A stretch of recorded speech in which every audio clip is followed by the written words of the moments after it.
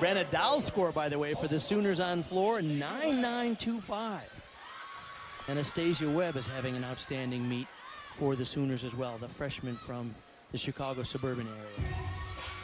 And when we talked to KJ about the choreography and the performance of this routine, she described it as slinkety. and now I can see why. It's a perfect word. Front double full.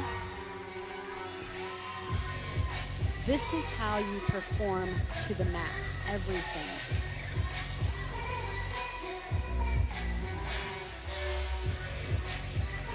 I think so far we've coined two new phrases this year, sassitude and now slinkity.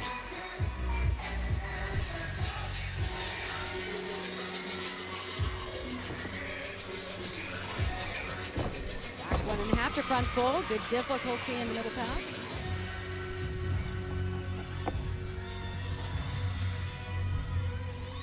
That front foot at the top of the jump because the jump is so beautiful. Just loses the toe point ever so slightly.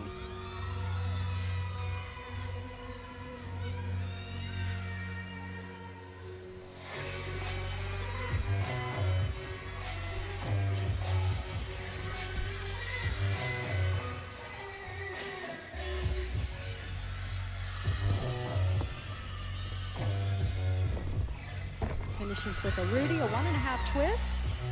And as if the music is oozing from her body, that was so well performed, so perfectly done with the music. And what a meet she's having. She had a 9-9 on vault and a 9-9-5 on bars.